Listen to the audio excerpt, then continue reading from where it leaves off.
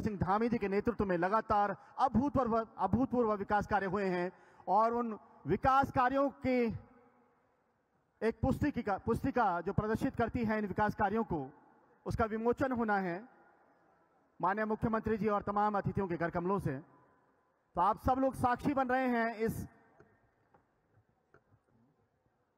क्षण के कि लगातार उत्तराखंड सरकार माननीय पुष्कर सिंह धामी जी के नेतृत्व में लगातार विकास की ओर अग्रसर हो रही है। ये पुस्तिका का विमोचन और ये पुस्तिका आप तक पहुंचेगी।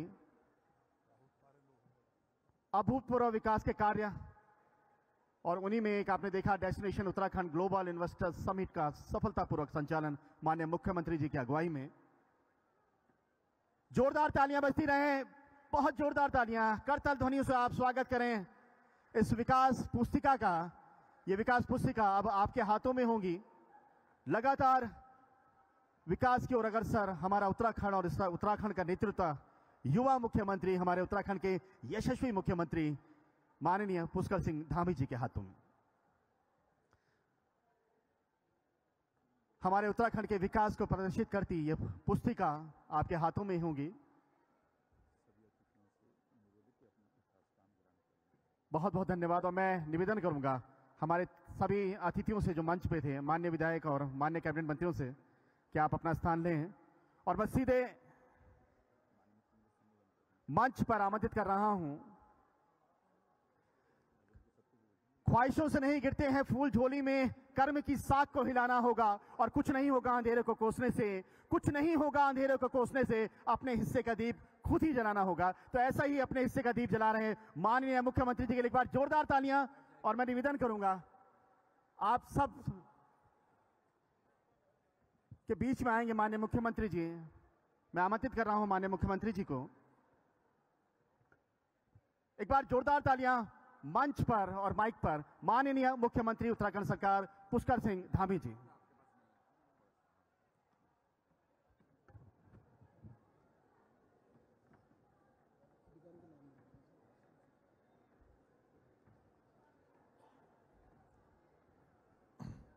विकास पुस्तिका के आज इस विमोचन समारोह में हमारे राज्य मंत्रिमंडल के मेरे सहयोगी आदरणीय सतपाल महाराज जी, आदरणीय प्रेमचंद अग्रवाल जी, आदरणीय गणेश जोशी जी, माननीय विधायक आदरणीय मुन्ना सिंह चौहान जी, आदरणीय खजान दास जी आदरणीय सविता कपूर जी, आदरणीय सरिता आर्या जी, भाई सुरेश गढ़िया जी, सिद्धार्थ अग्रवाल जी, महानगर अध्यक्ष भारतीय जनता पार्टी, श्री सुनील उनियाल गामा जी, हमारे निवर्तमान मेयर देहरादून, मधु भट्ट जी, उपाध्यक्ष, संस्कृति विभाग, हमारे सचिव श्री मीनाक्षी सुंदरम जी, श्री शैलेश बगोली जी और महानिदेशक सूचना श्री बंशीधर तिवारी जी, आदरणीय विश्वास डाबर जी, आदरणीय अनिल गोयल जी, आदरणीय पुनीत मित्तल जी एवं आए हुए हमारे सभी अतिथिगण, सभी अधिकारीगण, सभी महानुभाव, हमारे सभी मीडिया से, सभी हमारे वरिष्ठ मीडिया साथी, उपस्थित भाइयों एवं बहनों और इस पूरे परिसर के अंदर, जो अभी दो दिन का destination Uttarakhand global investor summit जो यहाँ पर संपन्न हुई है उसमें अपना योगदान देने वाले सभी हमारे अधिकारीगण सभी हमारे कर्मचारीगण मैं आज इस अवसर पर सशक्त नेतृत्व तो समृद्ध उत्तराखंड के विमोचन अवसर पर मैं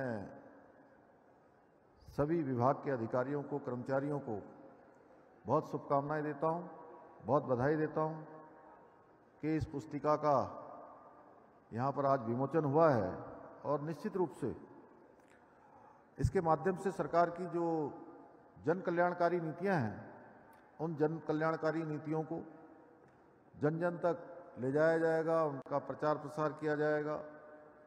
निश्चित रूप से जो सरकार की बातें हैं, वो जन जन तक पहुंचेंगी। और आशा है कि विभाग के इस प्रकार के प्रयासों से जो हमारी सरकार की योजनाएँ हैं लाभार्थियों के कल्याण की योजनाओं की उनको जानकारी मिलेगी। जो इसका लाभ लेने वाले हैं, उसका और बेहतर कैसे लाभ ले सकते हैं? इस पुस्तिका के माध्यम से उनको इस दिशा में भी कहीं ना कहीं सहायता प्राप्त होगी। इस के साथ ही इस ग्लोबल इन्वेस्टर समिट के आयोजन को सफल बनाने वाले सभी अधिकारियों को, सभी कार्मिकों को तथा समिट में, विशाल संख्या में पधारे मैं सभी लोगों का भी हृदय से आभार व्यक्त करता हूँ, क्योंकि मुझे पता है कि ये समिट जब हमने प्रारंभ किया था तो उस समय काफ़ी चुनौतियाँ हमारे सामने थी, काफ़ी कठिन परिस्थितियाँ थी, लेकिन पहली बार आपने देखा होगा दुनिया भर के देशों से 30 से अधिक तो राज्यों के एम्बेसडर उन्होंने यहाँ भाग लिया। अनेकों बड़े उद्योग समूह के देश के सभी उद्योग समूह के लोगों ने इसमें प्रतिभाग किया और उन सबको लाने में, उन सबके ठीक प्रकार से आने जाने का नियोजन करने में, बहुत प्रकार की व्यवस्थाओं को ठीक प्रकार से संचालित करने में, हमारे सभी अधिकारियों का, हमारे कर्मचारियों का बहुत बड़ा योगदान रहा है। मैं उन सभी को भी अपनी तरफ़ से सबका मैं धन्यवाद करता हूँ। मैं आज के इस अवसर पर मीडिया के भी सभी मित्रों का धन्यवाद देना चाहता हूँ, जिन्होंने इस कार्यक्रम को सफल बनाने में योगदान दिया। क्योंकि हम सब जानते हैं, मीडिया वो महत्वपूर्ण कड़ी है जो सरकार और जनता को जोड़ती है। कहीं ना कहीं सरकार के कामों को जन जन तक पहुँचाने का काम मीडिया के माध्यम से होता है। जितनी भी जन कल्याणकारी योजनाएँ हैं, कार्यक्रम हैं, और जो हम काम करते हैं, जनहित के मुद्दे, और उनकी समस्याएँ, उनका ध्यान को आकर्षित करने का काम, समस्याओं को समाधान की ओर ले जाने का काम मीडिया के माध्यम से होता है, और हमारे मीडिया के बंधु अपनी जो भूमिका है, वो बहुत शानदार तरीके से यहाँ पर निभा रहे हैं। मैं बहुत उनका सहयोग भी कर रहे हैं। मैं उन सबका धन्यवाद करता हूँ और बहुत सारे लोगों को मैं, जब मैं विद्यार्थी जीवन में था, तब से बहुत सारे लोगों से मेरा व्यक्तिगत परिचय भी है, मित्रता भी है। फिर, एक कालखंड सन 2000 के बाद जब राज्य बना तो यहाँ अनेकों धरने, प्रदर्शन, अन्य कार्यक्रम, रैलियाँ, सम्मेलन इन सब के बीच में, सबके साथ बैठते बैठते, सबके साथ बहुत निकटता से काम किया है। और उस नाते जहाँ हम उम्र लोग, मित्र के नाते, भाई के नाते अपने सुझाव देते हैं, कुछ हमारे वरिष्ठ हैं जो समय समय पर अपने ऐसे सुझाव, जो वास्तव में हमको अमल में लाने चाहिए, वह भी मुझे बताते हैं। मैं उनका दिल से आभारी हूँ।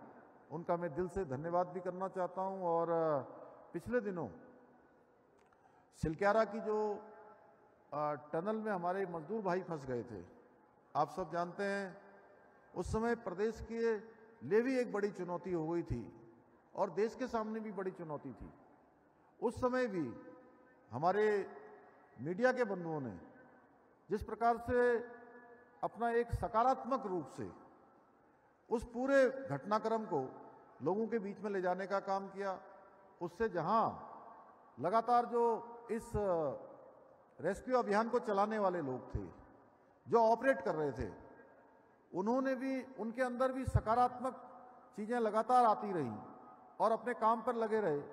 वहीं हमारे जो मजदूर भाई हैं, वो जो अंदर थे और उनके परिजन जो बाहर थे, उनके परिजनों तक भी लगातार एक बात जाती रही जिस प्रकार से मीडिया लिखता रहा कि कहीं ना कहीं वो जल्दी ही जो है बाहर आएँगे, उनके अंदर सकारात्मकता बनी रही।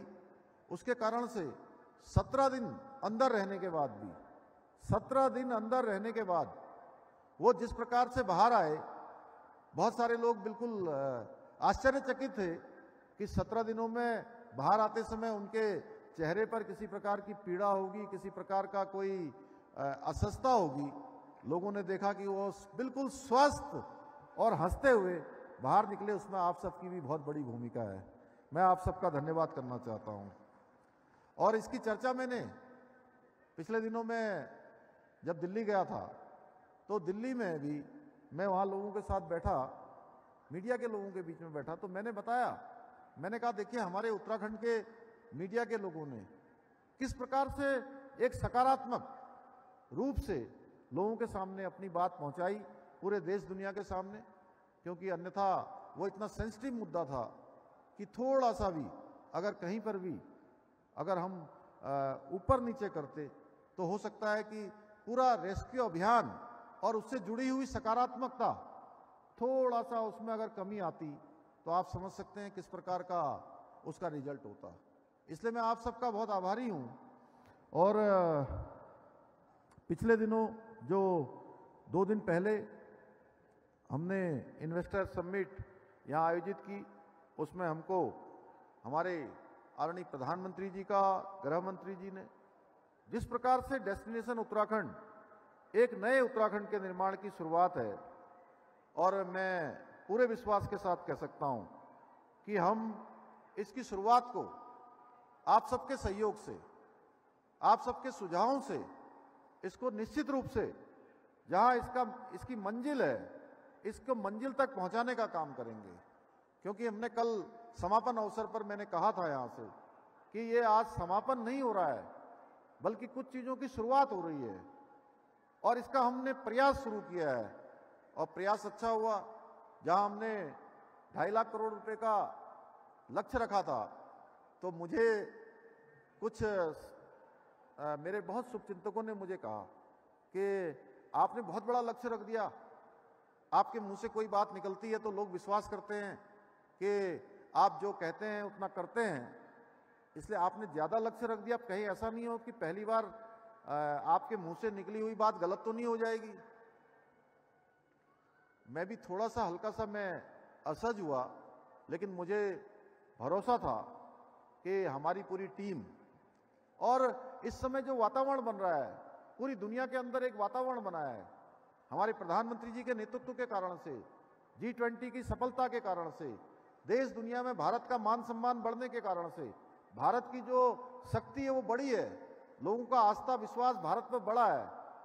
तो मैंने कहा, अब तो चूँकि मैंने कह दिया है और ये नियोजन करने के बाद कहा है, अंततः जब हम आगे बढ़ने लगे तो जगह जगह से लोगों ने हमारा प्रोत्साहन किया, अपने निवेशकों के हमारे साथ करार किए, चाहे वो इंग्लैंड हो, चाहे अबू धाबी हो, दुबई हो, या भारत के हमारे अन्य शहरों, चेन्नई से लेकर अहमदाबाद, बेंगलोर, मुंबई, दिल्ली, अनेकों स्थानों पर, या हमारे उत्तराखंड के अंदर, जो हमारी एग्जिस्टिंग इंडस्ट्री है, उनके लोगों ने भी आगे बढ़ चढ़कर इसमें भाग लिया और हम साढ़े तीन लाख करोड़ से भी ज़्यादा के एमओयू अभी तक कर चुके हैं और बहुत सारे एमओयू हमारे अभी प्रस्तावों के रूप में हमारे सामने हैं।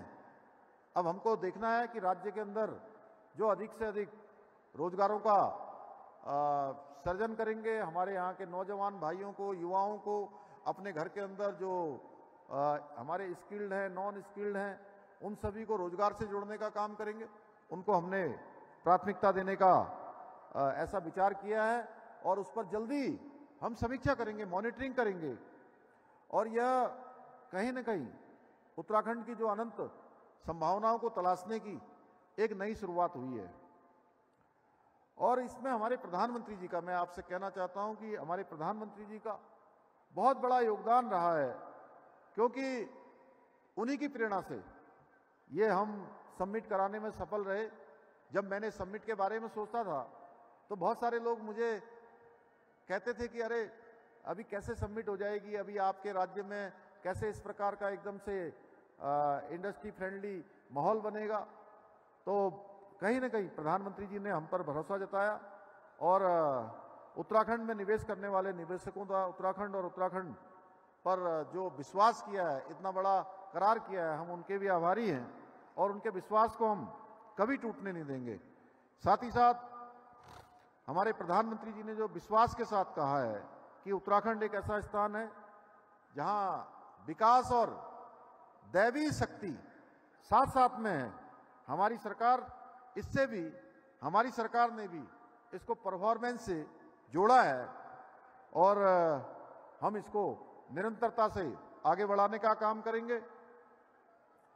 और जो हमने संकल्प लिया है कि देश को हम, देश का हम राज्य को अग्रणी राज्य बनाएँगे। देश के अग्रणी राज्यों में उत्तराखंड हमारा होगा। उसके लिए हम सभी को मिलकर प्रयास करना है और हमारे प्रधानमंत्री जी की प्रेरणा से, उनके मार्गदर्शन में इसके लिए हम लगातार प्रयास भी कर रहे हैं। लगातार काम कर रहे हैं, जितना भी समय है, उसका एक एक पल और एक एक क्षण राज्य को हमने समर्पित किया है। बहुत सारे जो काम हैं, राज्य स्थापना के बाद पहली बार हुए हैं। उसमें मैं कह सकता हूँ कि हमने, चूँकि आज विकास पुस्तिका जहाँ विमोचित हो रही है, उस अवसर पर मैं कह सकता हूँ कि राज्य के अंदर बहुत सारे ऐसे काम हैं, जिनके लिए पहली बार इनिशिएटिव लिया गया है। चाहे वो सबसे कठोर नकल विरोधी कानून बनाया हो, या भर्ती घोटालों पर करने वाले ऊपर कड़ी कार्रवाई की गई हो, धर्मांतरण रोकने के लिए सबसे कठोर कानून देश का हमने बनाया है। लैंड जिहाद, लव जिहाद के खिलाफ भी हमने सख्त कार्रवाई की है। समान नागरिक संहिता भी जल्दी हम लाने वाले हैं। हमको उसका भी जो है जो ड्राफ्ट है, वो मिलने वाला है। उस पर भी हम जल्दी ही कार्रवाई आगे करेंगे। तेईस वर्षों में पहली बार हमने 30 प्रतिशत का जो क्षतिज आरक्षण है, उसका भी हमने विधेयक लाकर प्रावधान कर दिया। भ्रष्टाचार पर भी हमने तेईस सालों में पहली बार आज चाहे छोटा हो, बड़ा हो, जो भी इस मामले में संलिप्त पाया गया है, उस पर कार्रवाई भी हमने प्रारंभ की है। इसके साथ ही राजस्व पुलिस की जगह रेगुलर पुलिस तैनात करने की कार्रवाई भी हमने की है।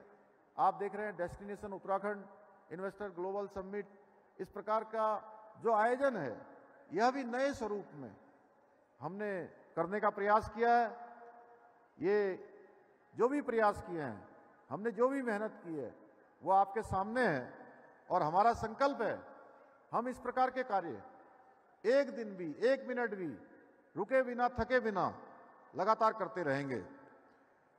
तेईस वर्षों की यात्रा के बाद उत्तराखंड राज्य ने कई उपलब्धियाँ हासिल की हैं, लेकिन अभी हमारे समक्ष बहुत सारी चुनौतियाँ हैं, जिन पर हमको काम करना है, जिनका सफलतापूर्वक सामना करते हुए देवभूमि को देश का श्रेष्ठ राज्य बनाना है। हमें अपनी जो चुनौतियाँ हैं, उन चुनौतियों का हमें पता है, और लेकिन हमें अपनी जो ताकत है, जो देवभूमि की चिंता है, देवभूमि का जो सामर्थ्य है उसका भी हमें भरोसा है, और उस भरोसे के कारण से हम आगे बढ़ेंगे। पलायन, शिक्षा, स्वास्थ्य क्षेत्रों में सुधार तथा राज्य के दुर्गम और सीमांत क्षेत्रों में संतुलित रूप से विकास पहुंचाना, यह भी हमारी प्राथमिकता होगी। हमारे यहाँ के मेहनती, जो हमारी मातृशक्ति है, जो आज कई क्षेत्रों में काम कर रही है, लखपति दीदी बनाने का जो काम हमने प्रारंभ किया है, उसको इसी मंच से आदरणीय प्रधानमंत्री जी ने भी उसकी सराहना की है। हमारा, हमको कहीं ना कहीं प्रोत्साहन दिया है, जिस प्रकार से राज्य काम कर रहा है। उसी का स्वरूप, जो हाउस ऑफ़ हिमालय, जो आदरणीय प्रधानमंत्री जी ने यहाँ देश की जनता के सामने रखा है, उनके हाथों से उसका इनोग्रेशन हुआ है। निश्चित रूप से उससे हमारे यहाँ के उत्पादों को, हमारी मातृशक्ति को विपणन के लिए एक बड़ा बाज़ार मिलने वाला है। युवा शक्ति हमारी आगे बढ़ रही है। प्राकृतिक सौंदर्य हमारी बड़ी ताकत है। वन संपदा, समृद्ध सांस्कृतिक एवं आध्यात्मिक विरासत। हमारे पास प्रभु का दिया हुआ, भगवान के दिया हुआ, प्रकृति के द्वारा प्रदत्त इतनी सारी चीज़ें हैं कि निश्चित रूप से हम इन सब का सदुपयोग करते हुए आगे बढ़ेंगे। भाइयों बहनों, हमने साहस के साथ चुनौतियों को स्वीकार करते हुए देवभूमि को देश का अग्रणी राज्य बनाने का संकल्प लिया है और मुझे पूरा विश्वास है कि आप सबके सहयोग से हमारा ये संकल्प अवश्य पूरा होगा। अंत में मैं एक बार फिर से अपने सभी मंत्रिमंडल के आदरणीय मंत्रीगणों का, अपने आदरणीय विधायकगणों का, हमारे सभी पदाधिकारियों का, अन्य महानुभावों का, और विशेष रूप से जिन्होंने इस समिट में अपना योगदान दिया, हमारे सभी सरकारी जितने भी हमारे विभाग हैं, उन विभाग के अधिकारियों का, कर्मचारियों का, जिन्होंने रात दिन काम किया है, उन सबका मैं दिल से, हृदय से बहुत धन्यवाद करता हूँ। और इस अवसर पर एक सुझाव भी मैं सूचना विभाग को अपनी तरफ़ से आप कहना चाहता हूँ कि आज लोगों लोगों के पास मोबाइल फ़ोन भी रहता है, इसलिए जब भी हमें इस प्रकार की विकास पुस्तिका प्रिंटेड बुक की जगह अब ई बुक के रूप में भेजनी होगी तो उसको भी हमें अत्यधिक रूप से अपने कार्यक्रमों में सम्मिलित करना होगा, जिससे कि कहीं ना कहीं संसाधनों की भी बचत होगी और आसानी से सरकार की जो नीतियाँ हैं वो जनता तक पहुँच जाएँगी। अंत में एक बार पुनः आप सभी का मैं आप सबको बधाई देते हुए शुभकामनाएँ देते हुए और अपने आए हुए सभी आ, मीडिया जगत के सभी अपने मित्रों का भाइयों का आए हुए छायाकार बंधुओं का मैं धन्यवाद करता हूँ कि उन्होंने हमारे आमंत्रण को स्वीकार किया और सारे के सारे यहाँ आप इतनी बड़ी संख्या में पहुँचे और अंत में अपनी बात दो पंक्तियाँ कहकर समाप्त करता हूँ कि मुट्ठी में कुछ सपने लेकर, मुट्ठी में कुछ सपने लेकर भरकर जेबों में आशाएँ, दिल में है अरमान यही, कुछ कर जाएँ, कुछ कर जाएँ, कुछ कर जाएँ। बहुत बहुत धन्यवाद।